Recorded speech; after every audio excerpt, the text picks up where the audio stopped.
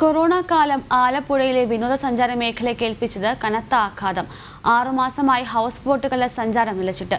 സർക്കാരിന്റെ അവഗണന കൂടിയായതോടെ ഈ മേഖലയിലുള്ളവരുടെ ദുരിതം ഇരട്ടിയായി.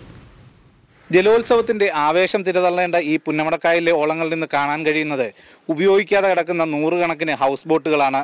സമസ്ത മേഖലയും കൊറോണ എന്ന മഹാമാരി പ്രതികൂലമായി ബാധിച്ചിട്ടുണ്ടെങ്കിലും ആലപ്പുഴയെ സംബന്ധിച്ചിടത്തോളം ഏറ്റവും തിരിച്ചടി നേരിട്ടത് ഇവിടുത്തെ വിനോദസഞ്ചാര മേഖലയെ തന്നെയാണ്.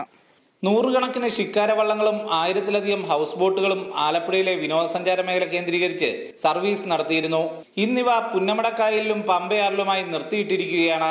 ലക്ഷങ്ങൾ വായ്പയെടുത്താണ് പലരും ബോട്ടുകൾ വാങ്ങിയത്. അവയുടെ തിരിച്ചടവ് മുടങ്ങിയതോടെ പലരുടെയും കിടപ്പാടം പോലും നഷ്ടമാകുന്ന അവസ്ഥയാണ് ഇന്നുള്ളത്.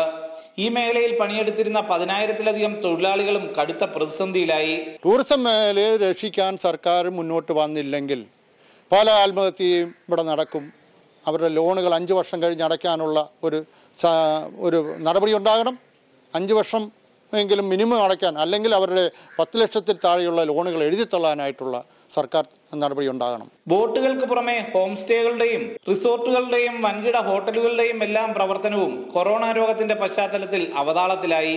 വിനോദസഞ്ചാര മേഖലയുമായി ബന്ധപ്പെട്ട് പ്രവർത്തിച്ചിരുന്ന ടാക്സി സർവീസുകളും ഏറെക്കുറെ നിശ്ചലമാണ്. ഇതേസമയം സംസ്ഥാനത്തിന്റെ വരുമാനത്തിൽ വലിയ പങ്ക് വഹിച്ചിരുന്ന വിനോദസഞ്ചാര മേഖലയുടെ തിരിച്ചുവരവിനായി സർക്കാർ ഒരു നടപടിയും കൈക്കൊള്ളുന്നില്ലെന്ന പരാതിയാണ് ഈ മേഖലയുമായി ബന്ധപ്പെട്ട് പ്രവർത്തിക്കുന്നവർ ചൂണ്ടിക്കാട്ടുന്നത്. ടൂറിസം മേഖലയുടെ നിലനിൽപ്പിനായി സർക്കാരിന്റെ കൃത്യമായ ഇടപെടലുണ്ടായില്ലെങ്കിൽ ഈ മേഖലയിൽ പ്രവർത്തിക്കുന്ന നൂറുകണക്കിന് ആൾക്കാരുടെ ആത്മഹത്യയാവും. വരും നാളുകളിൽ നമുക്ക് കാണേണ്ടി വരിക. ക്യാമറാമാൻ സുമേഷ് പുന്നമടയ്ക്കൊപ്പം സുധീഷ് ഗോപാൽ ജനം ആലപ്പുഴ